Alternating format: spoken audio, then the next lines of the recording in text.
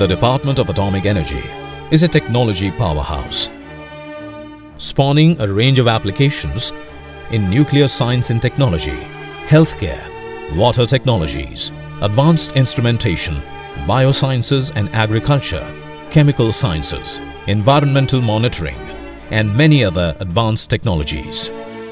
DAE is setting up technology development cum incubation centers at five locations around the country at BARC, IGCAR,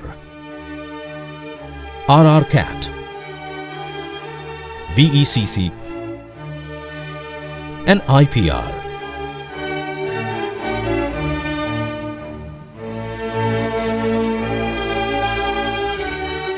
DAE invites enterprises from the MSME sector and emerging entrepreneurs to participate in this promising new initiative.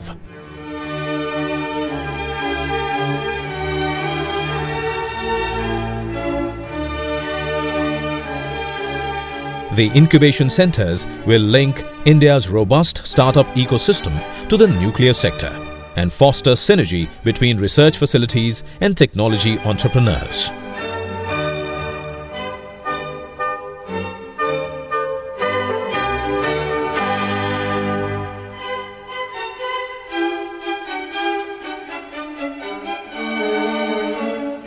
Come, join hands with us in this national effort.